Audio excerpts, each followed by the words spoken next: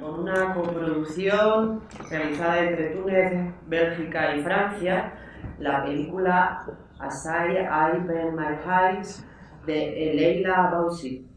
Eh, que, bueno, eh, algo nos comenta la Gema, pero sobre todo lo, vamos a ver, y que nos sitúa pues, en el Túnez de- del año 2010, a pocos, a pocos meses del inicio de la primavera árabe y de la, de la visión y de la mirada de una de Farah, una joven rebelde que reta la censura. Eh, eh, conta- contamos con la, con la presencia de Gemma Martín Muñoz, nuestra invitada de hoy. Eh, Gemma mm, eh, ha venido a Pamplona de la mano de IPES en varias ocasiones, eh, sobre todo relacionada con todo el tema de, del mundo árabe, porque ella es una experta en esta temática. Es profesora de Sociología del mundo árabe e islámico en la Universidad Autónoma de Madrid, impulsora y primera directora eh, general de la Casa Árabe, es eh, investigadora, colaboradora en universidades como Harvard y también en la Sorbona, y ha escrito numerosos artículos y ensayos en revistas especializadas sobre Oriente Medio y concretamente una de sus líneas investiga- investigadoras importantes es la relativa a la situación de las mujeres en los países árabes. Sin más, os reseño el último trabajo editado en Bellaterra, el del 2001, ¿no, Gemma? No, Es- 2000 2011. Ah, 2011, perdón, sí. Eh, mujeres, mujer y familia. Eh, sin más, os dejo de la mano de ellas. Solo comentar para quienes no conocéis un poco la, eh, una parte de nuestro sistema y forma de trabajo, es que el voto del público, eso, se, se entrega cada día con cada película y cada película es valorada de 1 a 4, de manera que si nos gusta, ¿no? Especialmente, pues valoraríamos 4 marcando, rompiendo de alguna manera eh, nos apetece siempre que, que se participe, que nos animamos. Y también nos animamos a el cierre de mañana, la séptima, el séptimo día de la muestra, con una película con mi amiga del parque, de, de Ana Kac, que yo creo que también con la gente invitada que traemos y, y bueno, vamos a presentar ahí también una temática a debate para unas generaciones concretas que están teniendo hijos e hijas, que son madres, y yo creo que hay también, y la película creo que también muestra un poco esa, bueno, ese debate o esas form- distintas formas de maternaje. Os dejo con, con Gema, que quizá bueno, dará una pincelada antes de, de entrar en la película. Eh, hola, buenos días a todos. Eh, gracias a Limpes por, por invitarme a formar parte de este, de este Festival de, Cine de Mujeres. Eh, bueno, sí, de una manera muy breve, porque es mejor que veamos la película y luego ya pues, entramos más en profundidad en el, en el, en el debate. Solamente contextualizar, por un lado, a la directora y por otro lado al, al Túnez, eh, al Túnez que vamos a ver, que es eh, eh, la atmósfera que centra y focaliza la, la- la película. La, directora, Leila Bousit, eh, forma parte de, eh, de lo que podríamos llamar la generación más joven de cineastas eh, eh, árabes, ¿eh? Señalando que es interesante tener en cuenta que no es, no es una excepción, sino que felizmente la nueva generación de artistas y creadores en distintos países árabes, no solamente en Túnez, este caso es el, de, el de una tunecina, pero que encontramos eh, esa misma realidad en Egipto, en el, eh, en el Líbano, en Marruecos. eh, eh, mm, esa nueva generación de, artistas y creadores, como digo, es enormemente rica, dinámica, eh, eh, muy activa, muy presente en la creación de nuevas vanguardias, eh, nuevas vanguardias eh, en todo el ámbito creativo eh, y, por supuesto, también en el cine. De manera que eh, existe una lista eh, muy, eh, significativa de nuevas mujeres jóvenes cineastas, que a través del cine, pues básicamente están reinterpretando desde su mirada, claro, evidentemente hay que tener en cuenta que el arte es libre, con lo cual no, eh, no es un documental que quiera presentar una realidad objetiva, puede ser también subjetivo, ¿eh? pero, eh, pero sí que están interpretando sus sociedades, sus, sus retos, sus, sus desafíos e incluso evidentemente denunciando situaciones. de manera que Leila Musit forma parte de todo un riquísimo elenco eh, de jóvenes eh, artistas y concretamente de mujeres eh, artistas jóvenes que, como digo, están en la primera línea de esa creación cinematográfica. y por lo tanto, mm, debemos plantearnos conocer esto y saberlo, porque lamentablemente, por otro lado, no suele ser habitual que llegue a nuestras salas, eh, que llegue a nuestro a nuestra, eh, acceso, acceso mayoritario, social mayoritario, ni este cine ni el conocimiento de estas nuevas cineastas.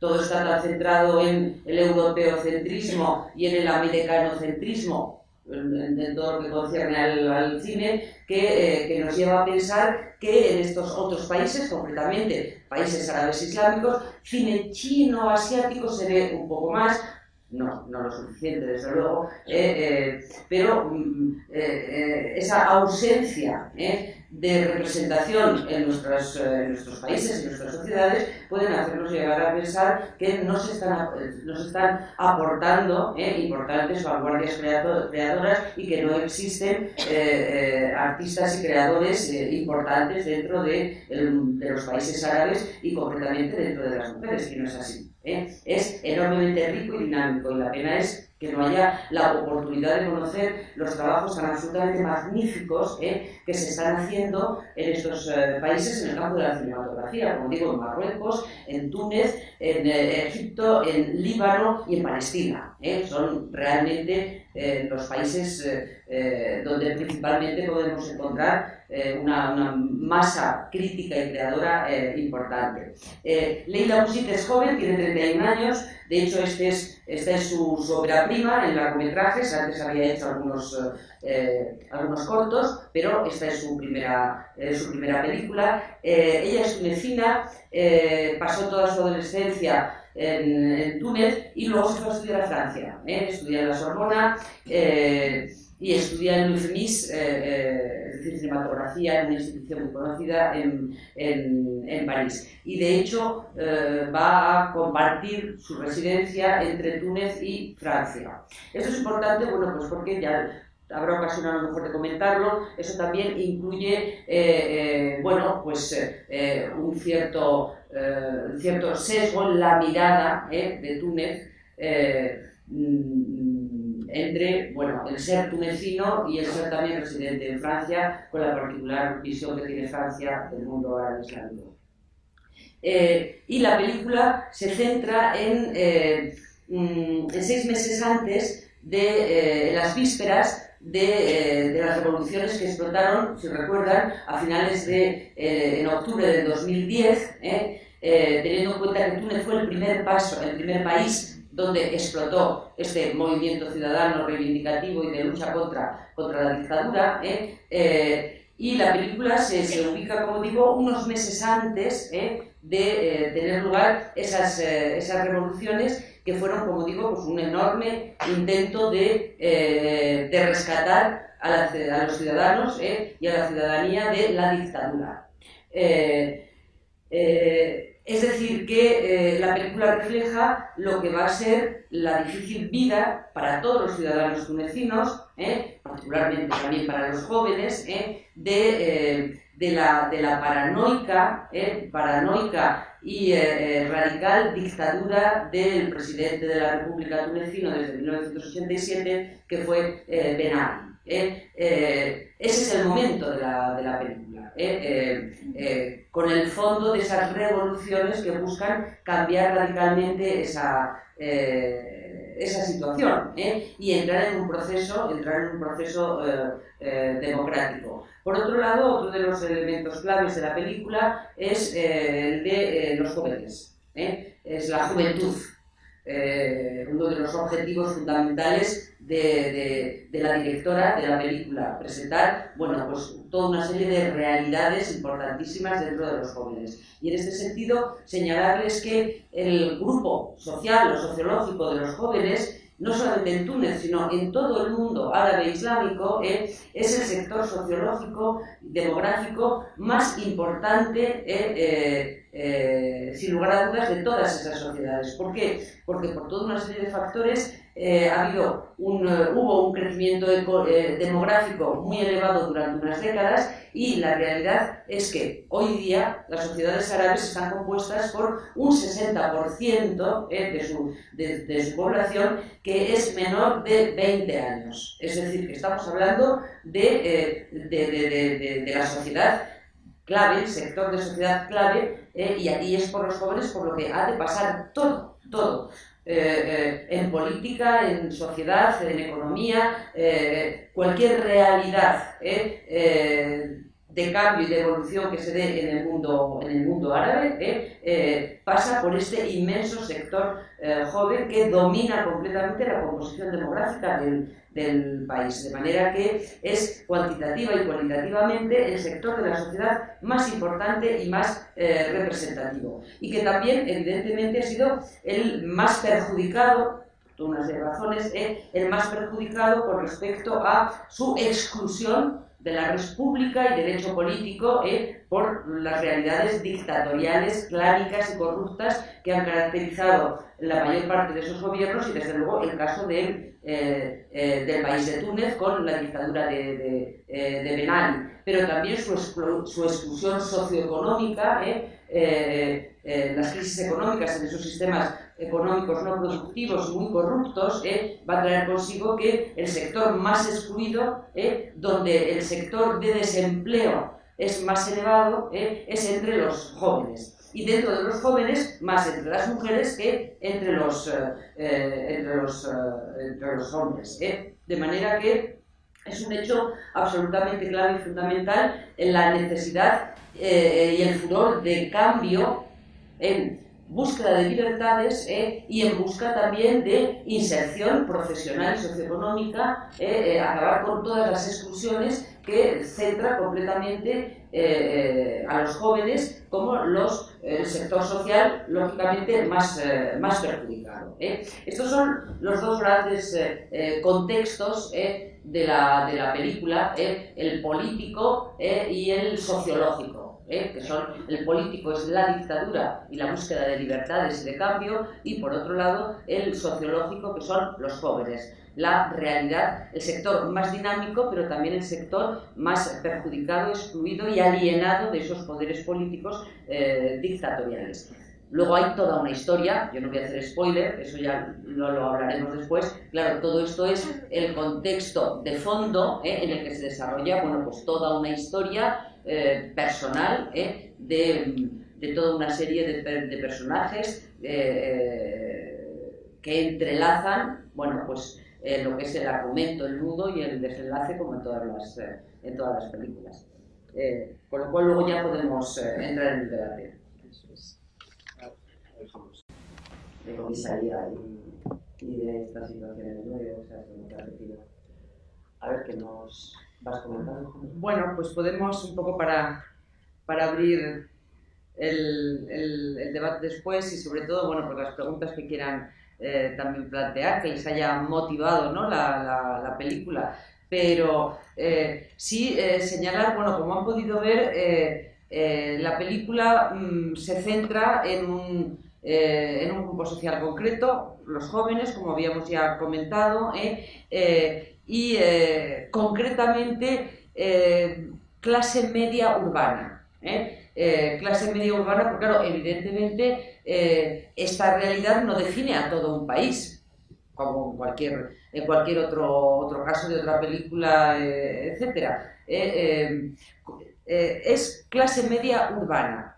Hay que decir que es una franja social importante, ¿eh? muy importante. ¿Por qué? Pues porque eh, junto con todos los procesos de modernización que ha habido a lo largo de, progresivamente a lo largo del siglo XX hasta, hasta el XXI, ¿eh? Eh, uno de los fenómenos ha sido, además del demográfico al que ya me he referido antes, eh, ha sido un proceso bastante intensivo de urbanización. Con lo cual el perfil, el perfil de joven urbano es un perfil de peso y muy mayoritario en, en, el, en, el, en Túnez y en, y en el resto de los países árabes. ¿eh? Eh, quizá Marruecos sea el país en que existe un, poco más de equilibrio entre población urbana y población eh, rural. pero en la gran mayoría de todos los países árabes la población urbana supera con mucho a la población rural porque ha habido, bueno, todo un fenómeno desde el siglo XX, todo el periodo postcolonial, eh, toda una serie de, eh, una enorme diáspora del campo a la, eh, del campo a la ciudad. por otro lado, ese carácter urbano se une a un hecho que también define el perfil de estos jóvenes, que es eh, una juventud que ha tenido acceso a estudios universitarios. Es decir, eh, es, una, es una juventud que también es un elemento característico no solamente de Túnez, eh, sino de la mayoría de los países, de los países árabes, que es el hecho de que el Estado postcolonial, con todas sus sombras, pero también con algunas luces, evidentemente, abrió masivamente eh, el acceso a la, eh, a la, universidad y a la educación a, la población. Y claro, sobre todo las generaciones más jóvenes eh, se han beneficiado de esa realidad, con lo cual también tenemos un perfil de jóvenes mayoritariamente, es decir, con un índice, un porcentaje importante, que son jóvenes urbanos y con estudios, y muchos de ellos estudios universitarios. Y mm, esa alquimia, evidentemente, eh, genera en Túnez o en Egipto o en Líbano o en España o en Italia o en Argentina, eh, eh, genera una, una alquimia mm, que es la de la politización de esos jóvenes. Con lo cual, realmente hoy, sin, que, sin que eso sea la mayoría, pero sí hay un perfil muy significativo de esa juventud que en términos generales eh, eh, mencioné antes, que eh, se caracteriza por ser urbana, por mm, tener estudios, es decir, y, muchos de ellos diplomaturas y, mm, y licenciaturas, y su politización, y estar muy politizados, y más en un marco de autoritarismo, totalitarismo o dictadura dependiendo, es decir, las intensidades pueden variar de unos países a otros. Desde luego, el caso tunecino fue de una intensidad alta, altísima, ¿eh? Eh, eh, en, esa, en esa dictadura.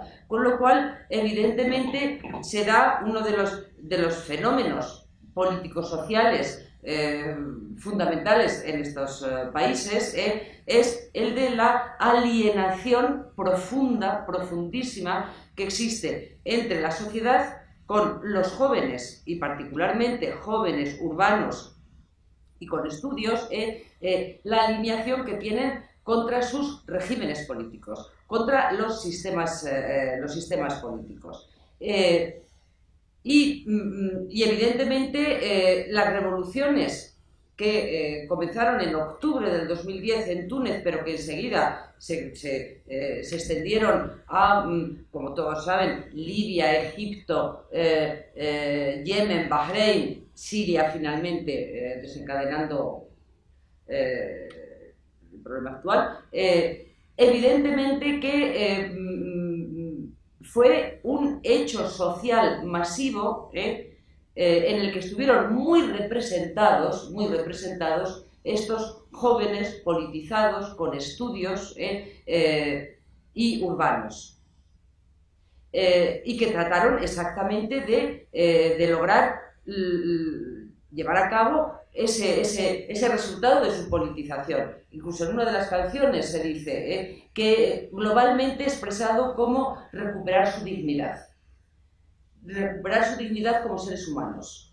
Y esa dignidad como seres humanos es evidentemente su libertad su desarrollo económico, su desarrollo político, es decir, acabar con la exclusión, la exclusión masiva que sometida al hecho político, al hecho social, al hecho, al hecho económico. Y ese, ese fue el gran motor, porque esas revoluciones, que no primaveras, fue un, fenómeno muchísimo más, muchísimo más intenso y muchísimo más importante. Fueron revoluciones. ¿eh? Lo de la primavera queda muy bonito, se lo inventa un día un periodista y ya se convierte poco menos que en, ley. Pero eh, eh, pero realmente fueron revoluciones ciudadanas, masivas, ¿eh? Eh, pero de los ciudadanos. No hubo partidos políticos, no hubo ideologías que eh, liderasen y representasen esas revoluciones, sino que fueron los ciudadanos que espontáneamente, todos, y al final cubriendo todas las capas sociales y cubriendo, hombre, las ciudades evidentemente con una fuerza mucho mayor, ¿eh? pero también cubriendo el, país profundo, ¿eh? el país interior, el país eh, rural. Y fue un canto a reclamar su dignidad. Y su dignidad quiere decir acabar con la exclusión política, social y económica a la cual se les estaba sometiendo, dependiendo de las generaciones, desde hacía décadas. Desde, desde hacía décadas. Y ese sector joven tuvo una enorme importancia, un sector joven que, como han podido ver también, es un sector joven que, eh, eh, eh, que es fruto de los procesos de modernización, porque los procesos de modernización han tenido lugar en los países árabes desde el siglo XX en adelante hasta la actualidad. Y esos procesos de, de, modernización son una realidad con desafíos y problemas y desequilibrios, sin lugar, a, eh, sin lugar a dudas. Pero ese proceso de modernización es una realidad, es decir, que en cierta medida también rompe el, eh, el estereotipo y el cliché eh, muy extendido en las sociedades, bueno, digamos occidentales, de pensar que esas son unas sociedades ancladas en el pasado, ancladas en modelos ultrapatriarcales eh, retrasados en que la mujer es una mujer sumisa, es una mujer maltratada, es una mujer sin libertad, es una mujer fruto del machismo del hombre musulmán. Eh, eso tiene una parte mucho más fuerte, mucho más eh, intensa de estereotipo, cliché, tópico, prejuicio, eh, que de realidad. Evidentemente existen los problemas, ¿eh? evidentemente que en esas sociedades existen los problemas.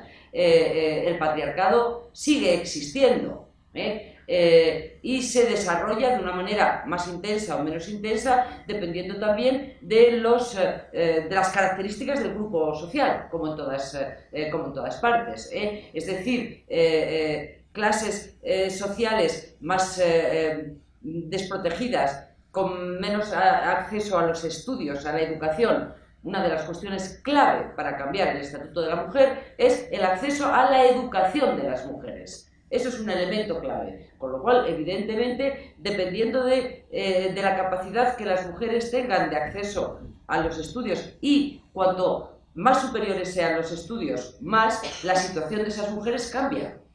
¿eh? O no cambia. Se queda anclada. ¿Eh? Eh, todas esas realidades diversas existen, como existe evidentemente la violencia de género. Lamentablemente es un hecho eh, universal. Pero la foto fija que sistemáticamente se, se representa y con la que se adoctrina a las opiniones públicas de las sociedades occidentales es una visión estricta de inmovilismo de tradicionalismo, de ultrapatriarcado, donde la mujer no es, eh, eh, eh, no es moderna y no es libre. Y eso no es la realidad de esas sociedades. En esas sociedades hay unas dinámicas muy intensas y una de ellas es todos los avances que, por razones múltiples, en el que, por supuesto, es decir, la urbanización a la que me he referido, el acceso a los estudios. Eso es una situación absolutamente clave. A, eh, a partir de que las mujeres tienen acceso a los estudios, como digo, es el elemento clave y fundamental para empezar su emancipación, para empezar a eh, su capacidad de ir demoliendo las estructuras, eh, eh, las estructuras patriarcales. Pero eso en cualquier parte del mundo. Esos son los, si, miramos la experiencia de España, eso es, eh, ese ha sido también uno de los elementos absolutamente clave. Y lo que es la, la contracepción, es decir, la planificación familiar. Eso es otro de los fenómenos fundamentales para ir haciendo evolucionar el modelo de familia y del modelo de familia el estatuto de la mujer. Eh, urbanización, educación y planificación familiar, es decir, contracepción. Eh, son los tres grandes motores para cambiar y modernizar, para el cambio social. ¿eh? Bueno, pues esas realidades están totalmente presentes en las dinámicas sociales de estos, de estos países. Y por lo tanto, el proceso de modernización está totalmente en, eh, en marcha, con sus desequilibrios, con sus distintas intensidades y con, eh, evidentemente, las diferencias entre unos países u otros. Sin lugar a dudas, eh, la realidad entre Túnez y Arabia Saudí, pues hay un mundo. Hay todo, todo un mundo totalmente distinto y totalmente, totalmente diferente. pero, mm, pero esas mujeres, ¿eh? Eh, que además se vio en las, revoluciones, es decir, justo lo que vendría después del momento en que acaba la película, ¿eh? es el desencadenamiento de la revolución en Túnez. que es esos ciudadanos que salen a la calle a derrocar al tirano. Y además lo consiguen, le echan, al grito de Erhal, Erhal, es decir, lárgate, lárgate. Y consiguen que el tirano, Ben Ali, eh, eh, sea derrocado. Hombre, lo consiguen porque el ejército, eh, el ejército rechaza intervenir militarmente contra los ciudadanos en la calle y por lo tanto a partir del momento en que el presidente de, la República, Ben Ali, pierde mm, el apoyo del ejército, mm, la revolución tiene muchos visos de ser, de ser ganada. Sin el ejército no hay manera. El caso de Siria ha sido exactamente el contrario. En, el ejército sirio no hubo la más mínima fractura ¿eh? dentro del ejército en contra del régimen de Bashar el-Assad. Y claro, ahí el, poderosísimo eh, eh, arma coercitiva, represora, letalmente en este caso, desde luego, que es el ejército sirio, eh, pues funciona como el, el, demoledor, el eh, de, esa revolución y llevarlo a una guerra, ¿eh? llevarlo a una guerra civil que luego además se ha ido complicando muchísimo por la intervención de los actores regionales y los actores extranjeros. Eh, es otra realidad distinta de Túnez. En Túnez el ejército eh, le dijo a Ben Ali, no, el ejército no va a matar a los ciudadanos tunecinos en la calle. Y a partir de ahí Ben Ali tuvo que coger un avión y marcharse del país. ¿Dónde se fue? Curiosamente a Arabia Saudí. ¿eh? Es decir, el gran actor de la contrarrevolución en todos estos, eh, en todos estos países. ¿Eh? Y en esas revoluciones, como digo, fueron totalmente ciudadanas, donde no lideró ni los partidos de izquierda, ni los eh, ni los partidos de izquierda, ni los partidos islamistas, eh, ni los partidos liberales eh, lideraron para nada esas revoluciones. Ni las desencadenaron, ni las protagonizaron, ni las lideraron. fueron los ciudadanos. Y ahí hubo una participación, evidentemente, masiva de los jóvenes. Como no, si son el 60% de la población, ¿cómo no van a estar súper representados? Pero hubo una representación masiva también de las mujeres. Es decir, las mujeres también eh, eh, estuvieron presentes en esa esfera pública eh, eh, luchando contra los tiranos, para derrocar a Ben Ali, para derrocar a Hosni Mubarak en Egipto, para derrocar a, a Salah en Yemen, etcétera, etcétera. Y esa, esa, presencia de las mujeres, es interesante señalar varios registros. Uno, que no era, mm, con ocasión de la revolución, el primer gran momento en que las mujeres ocupan y se apoderan de la esfera pública. No, eso es una realidad ya completamente eh, eh, consolidada en estas sociedades.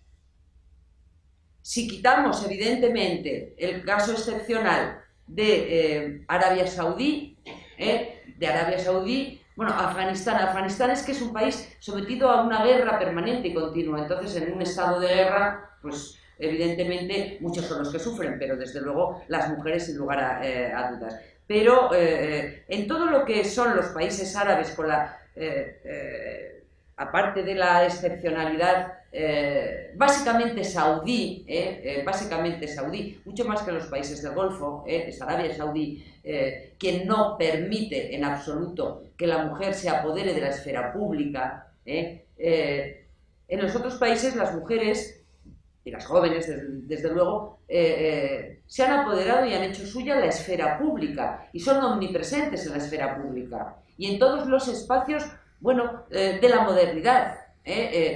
son presentes en las universidades, en, multitud de puestos de trabajo, en la administración, en las empresas, etcétera, etcétera.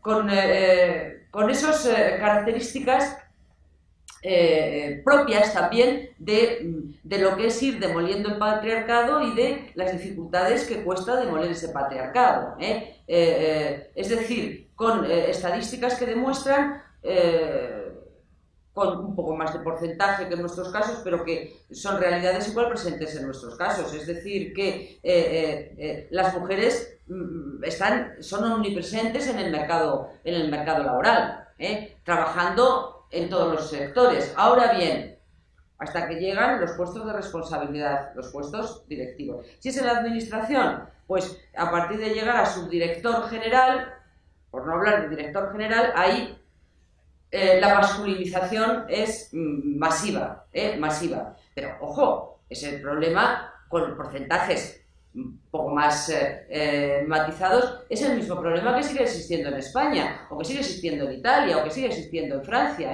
no, nos, no nos engañemos. Mm, pero esa realidad, como digo, es totalmente omnipresente, con lo cual las mujeres estuvieron, fueron actores, actrices y, mm, y enormemente y activas y activistas en esas revoluciones pero no por la revolución, sino porque ya estaban presentes en la esfera pública y ya están presentes en todos los ámbitos reivindicativos y de activismo, ¿eh? Eh, eh, con un índice enormemente importante, que es las universidades y todos los movimientos sociales que desde el año 2000 van a ser totalmente recurrentes en estos países, preparando, bueno, pues lo que era, eh, o expresando lo que era el tremendo, no malestar, eh, sino realmente cisma brutal entre gobernantes y gobernados en esos eh, países. Y otro elemento importante en esas revoluciones, sector que en esta película no aparece en ningún momento, pero que no quiere decir que no exista, es que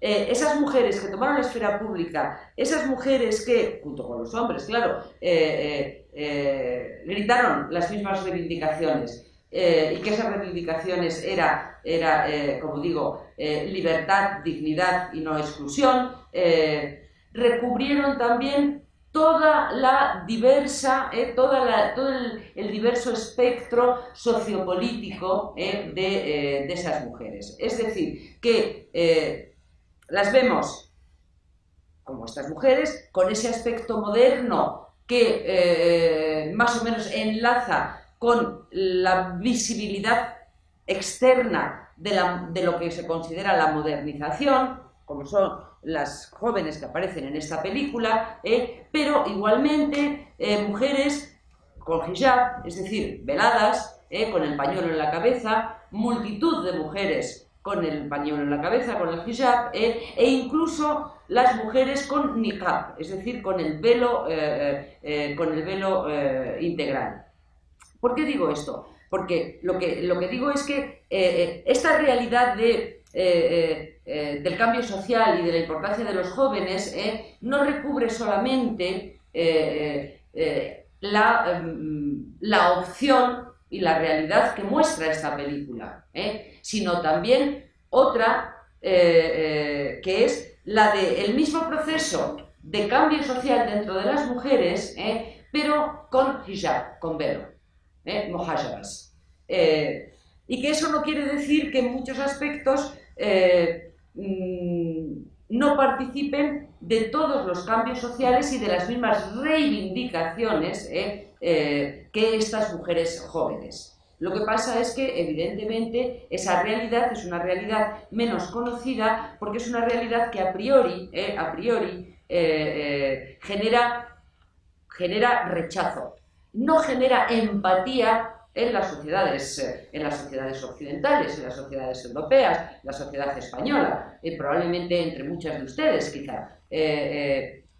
y por lo tanto, mm, el tratamiento de esa cuestión mm, en películas que además, bueno, aspiran a ganar mm, festivales internacionales y occidentales, esa realidad queda fuera pero no quiere decir que esa realidad no exista.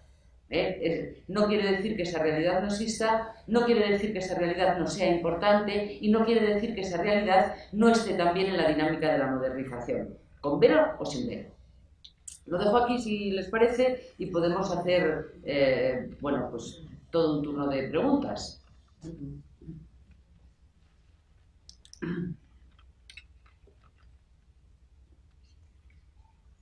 No va a ser tan largo el turno de preguntas, por lo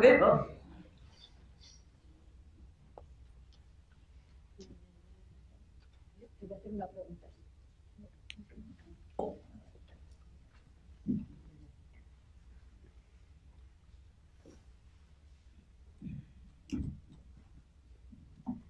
Bueno, después de todas estas explicaciones que nos has dado, yo voy a seguir por ahí sin tocar la película, porque eh, como al año así de la, de la revolución tunecina, no sé, eh, tuve relación con una profesora de universidad y estaba en un momento, ella me transmitía como que en concreto, en concreto con el tema de la, de la vestimenta o incluso de en algunos temas el, había aumentado la presión sobre las, las mujeres con eh, con vestimenta más occidental y, o más moderna, o incluso en aspectos de, la, de, derechos de mujeres que había como un cierto eh, freno o una mayor vigilancia. No sé cuánto hay de eso cierto y me gustaría después de, después de las revoluciones, sí, sí. Eh, ¿En qué país? En Túnez, en concreto. En concreto en Túnez.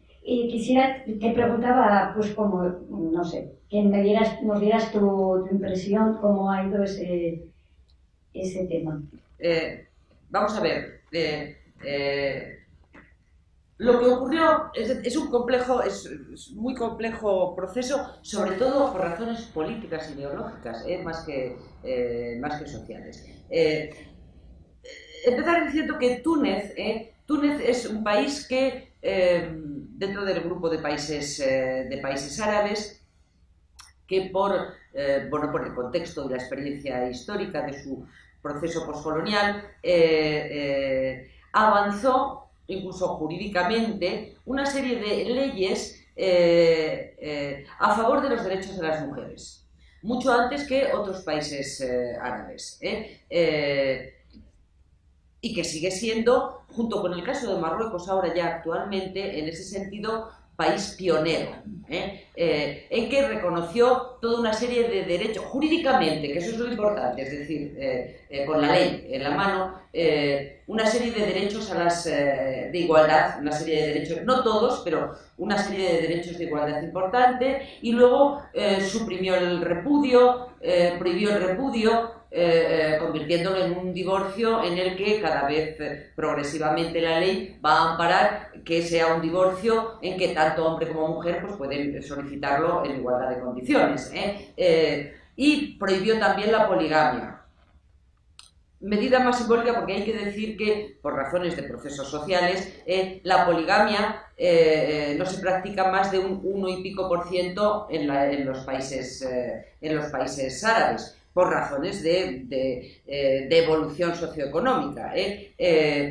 con lo cual, Túnez, en ese sentido, sí va a gozar de una serie de leyes en que las mujeres jurídicamente van a tener unos, eh, un acceso a derechos de igualdad con los hombres que eh, durante mucho tiempo los otros eh, países árabes no tenían y que en la actualidad, pues quitando fundamentalmente Marruecos que la ha equiparado, sigue habiendo una importante diferencia. Ahora bien, ese, esos beneficios, de esos beneficios, se van a eh, beneficiar, valga la redundancia, eh, fundamentalmente las clases medias urbanas. ¿eh? No, eso no va a querer decir que a veces la ley puede ir por delante de la sociedad.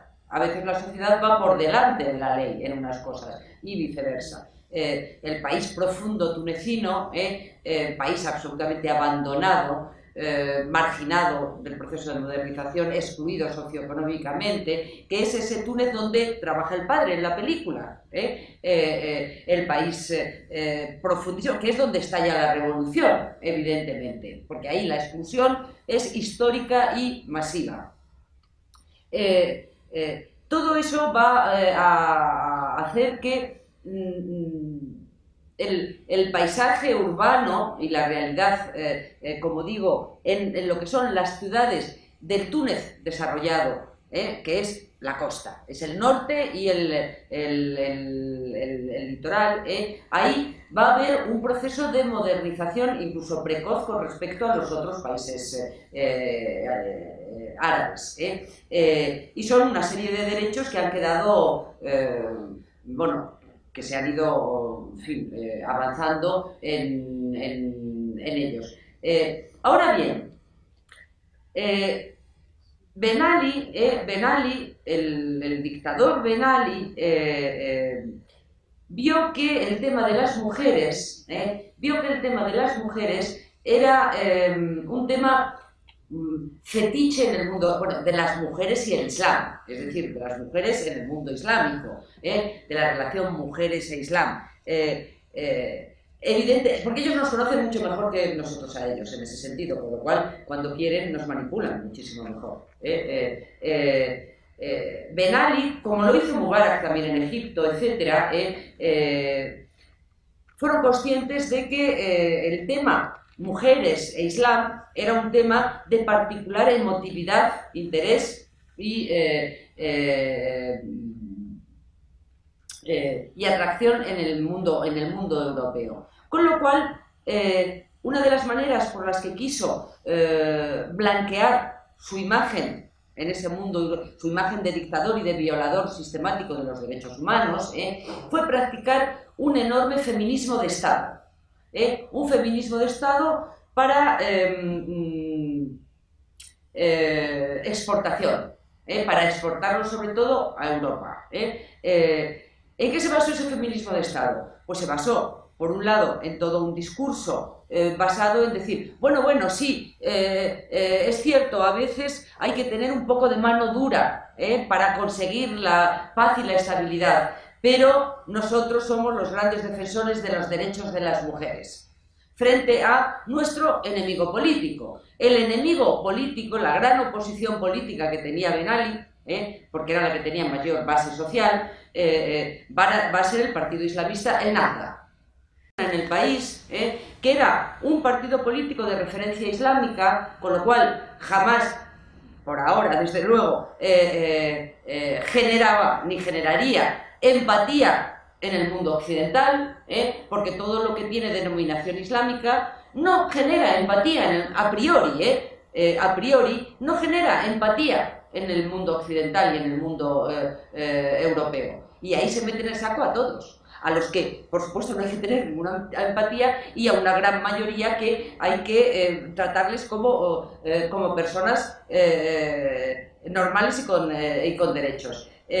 Con lo cual él se mm, arrogó el papel de yo estoy luchando contra el eh, oscurantismo eh, islámico islamista, eh, que era su oposición política, la que estaba masacrando brutalmente en las cárceles, con tortura, con ejecuciones, etc. y además soy el defensor de los derechos de las mujeres. Eso, ¿qué llevó? Llevó a que en la esfera pública tunecina, ben Ali eh, eh, hizo una, porque como digo era una dictadura además de radical, paranoica, paranoica. Y como se ve en la película o se deja ver en la película, el país estaba absolutamente filtrado, filtrado de policía social y, y colaboracionistas que denunciaban, que vigilaban y denunciaban a todo el país, a todo el país. Con lo cual tú ibas a Túnez durante la, eh, durante la dictadura de, de Ben Ali y te encontrabas una sociedad atemorizada, atemorizada para sentarse en un café contigo y hablar.